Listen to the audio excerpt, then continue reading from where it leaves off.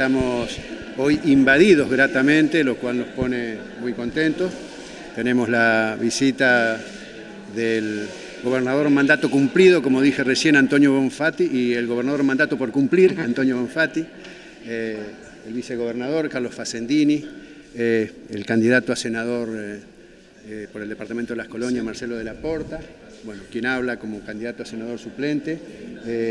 Estuvo y se retiró Vicky Tejeda, que es la candidata a vicegobernadora, Jimena Sen, que es candidata a diputada por el Frente Progresista, y bueno, quienes nos acompañan en esta eh, nueva cruzada por eh, tratar de seguir sosteniendo los destinos del gobierno de la ciudad de San Carlos Centro. Hemos estado acompañándolos en una visita al Eritier y bueno, ahora estamos acá en el instituto mostrándole a ellos henchido nuestro pecho lo ahora que hemos hecho en este tiempo, lo cual realmente nos pone muy contentos, pero sobre todo que eh, el doctor Bonfatti haya tenido la deferencia de dedicarle todo un día al Departamento de las Colonias y varias horas aquí en San Carlos Centro y con el compromiso firme de volver dentro de pocos días para visitar la fábrica Leritier y verla en pleno funcionamiento.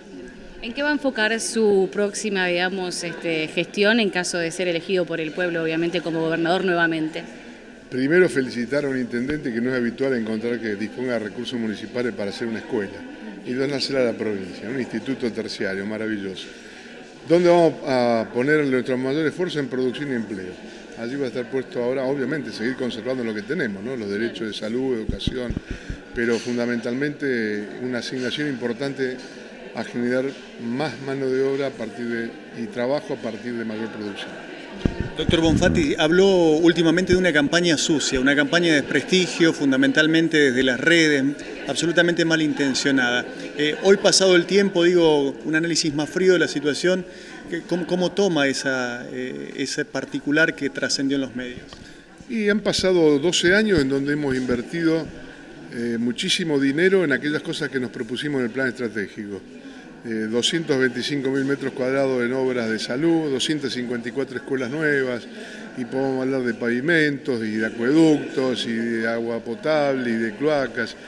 Y no tienen dónde golpear al gobierno provincial. Entonces, un fenómeno de este tiempo como es la violencia, que genera también tanta preocupación en todos, este, buscando allí arteramente como si hubiera complicidad por parte de los, los, que fuimos y los que son gobiernos del Frente Progresista.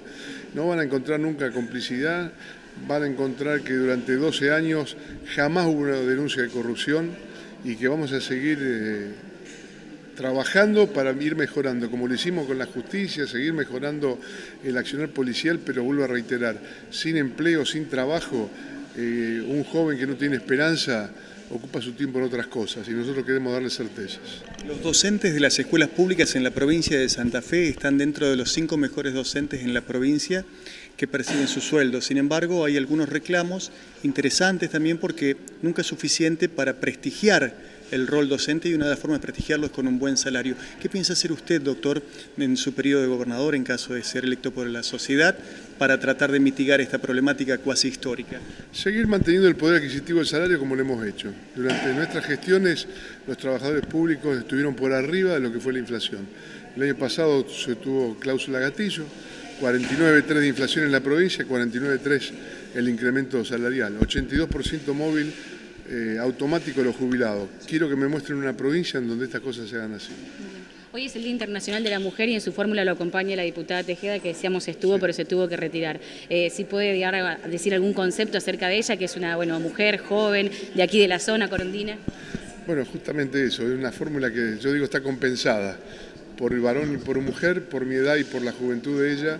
Alguien que ha trabajado en Coronda en producción, en turismo, hemos compartido la Cámara de Diputados estos cuatro años una mujer con pasión y con empuje por hacer cosas, entonces eh, a mí me llena de orgullo tener una compañía como Vicky.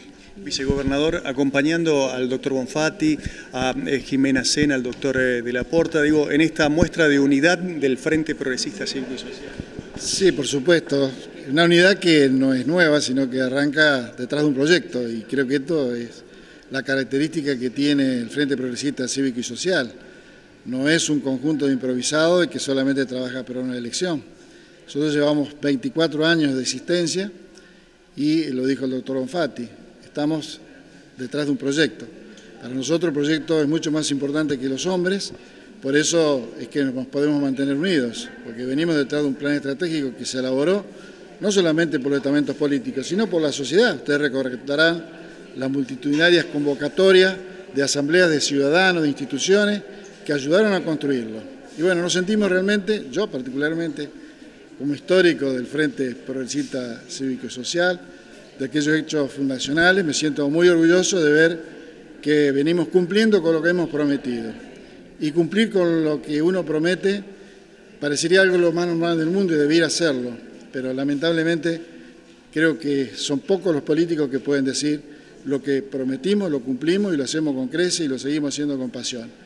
Así que bueno, yo creo que el próximo gobierno de la provincia de Santa Fe, por todas estas cosas van a ser valoradas por los ciudadanos, van, a ser respetadas y esperemos que, eh, bueno, algunos candidatos, como el candidato senador de la Porta, podamos reforzar la Cámara de Senadores, uno de, de las instituciones que nunca hemos podido gobernar dentro del Frente Rosita con mayoría, pero de cualquier manera hay políticas de Estado, hay una institucionalidad que te eh, sorprende y que genera políticas de Estado.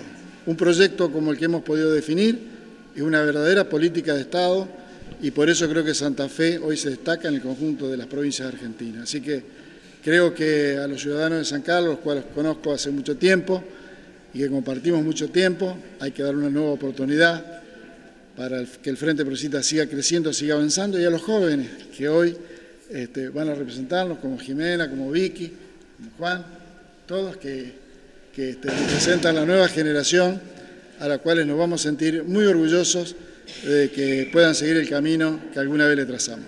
La última de parte en el Día de la Mujer, Jimena, ¿qué mensaje para todas las mujeres? Feliz día.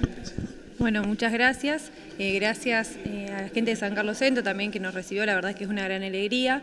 Eh, a las mujeres le digo que vamos a seguir luchando para destacar el rol de la mujer en la sociedad, que es muy importante.